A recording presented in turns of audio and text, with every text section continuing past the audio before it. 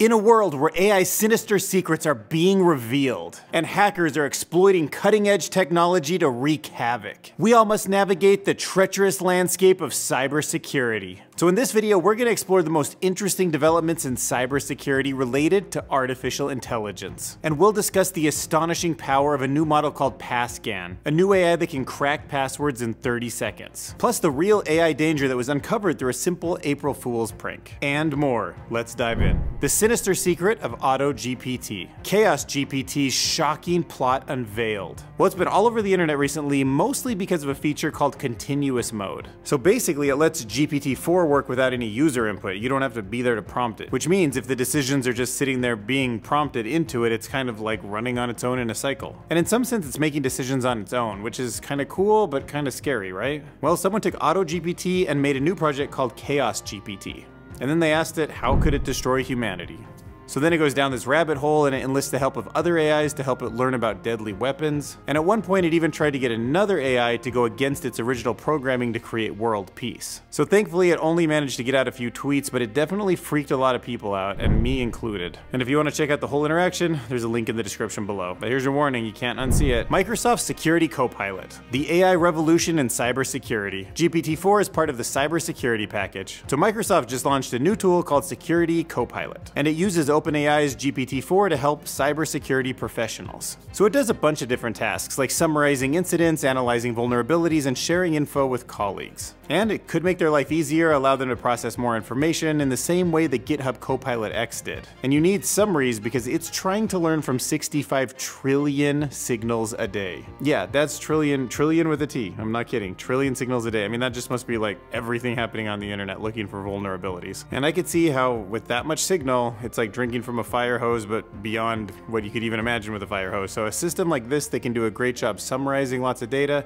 giving us something usable, finding a signal in the noise, maybe this is a good use case for it. AI versus human error, learning employee behavior to protect data. So one interesting way that security experts are integrating generative AI into their products is to deploy it in a company and have the artificial intelligence learn about all the employees and exactly how they conversate, the style that they talk in. From there, it can get a baseline of what people are supposed to be doing, who might be making mistakes, but more importantly, the main problem with cybersecurity is usually usually human error. So it can tell a bigger system when somebody feels like they're doing something that just doesn't sit right.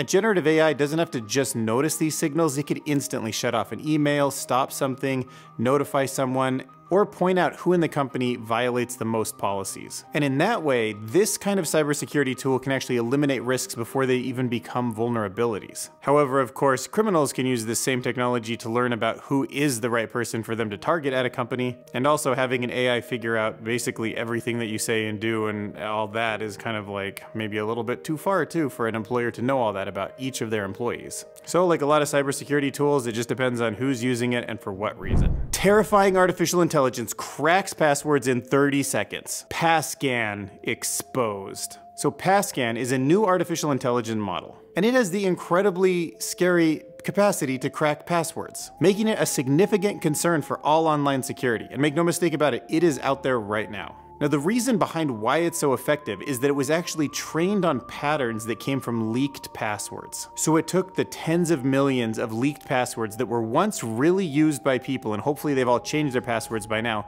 but it's that data set that it was trained on. And it was trained on all that data to look for patterns. What kind of passwords are most likely to be used and then it applies those in sequential order of what's most likely to work. And the results were that it cracked 51% of passwords in a minute and over 81% in the course of an entire month. So when you're thinking about a password and you're just, even if you're pretty much typing it randomly, just the way that our keyboards are laid out, the way that we think, there's big macro patterns in the way that we write them. And the rise of an artificial intelligent model like PassGAN to me means that you gotta stop typing your password off your brain. You've gotta choose a random generator. Because try as you might to be random, it's just not random. And you gotta keep updating your passwords because when that gets leaked onto the internet, it's going to learn from other people's patterns. And because of leaks in the first place, you definitely need to be updating your password all the time, which is like obvious, but sometimes you just need to hear it. Beware of AI-powered scams. How hackers can use ChatGPT to fool you. So hackers can now use large language models like ChatGPT to target everyday people. Because generative AI can write really convincing human-like emails and text messages and websites, they're getting way better at crafting convincing phishing emails.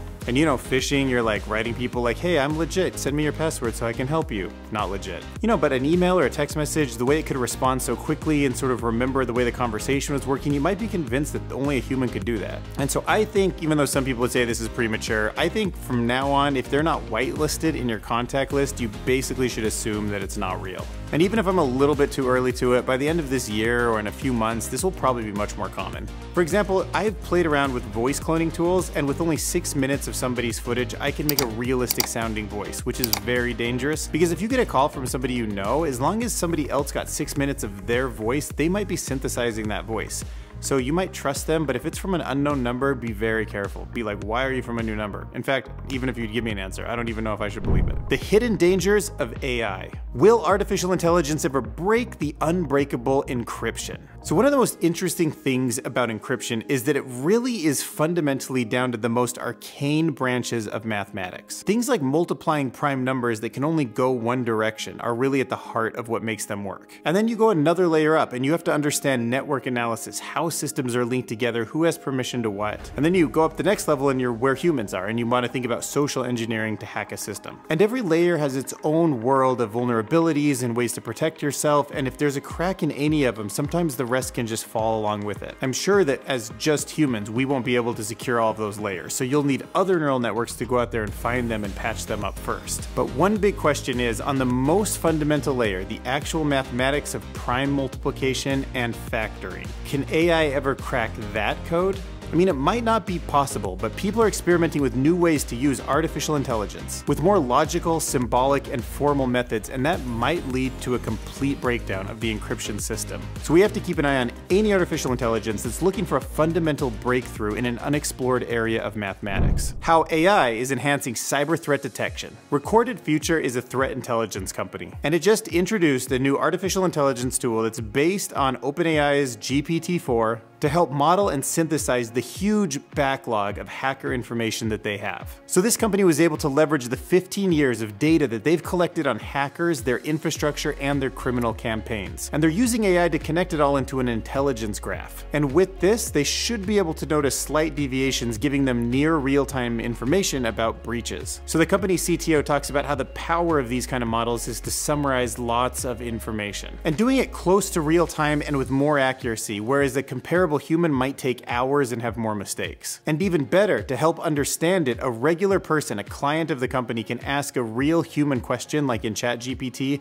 and it can synthesize that information and move it into a large language model so it can actually relate back to the human what they found. April Fool's prank reveals real AI dangers. Artificial intelligence is becoming incredibly popular with cybersecurity companies. And for good reason, but the same way that ChatGPT can sometimes confabulate and misinform, so can these systems. And recently, one of these platforms ran an April Fool's prank with a Twitter chatbot, claiming it would do something, but it wouldn't. It was just an April Fool's prank. But what wasn't funny about it to some people is that it created fake information. People thought that the hashtag had more power than it did, and if what if that was something that people believed and it was more serious? An AI that generates incorrect information that motivates somebody to do something might be just as bad as a vulnerability that gives them access to data. It just causes a kind of damage that's not so individual and it's more on a societal level.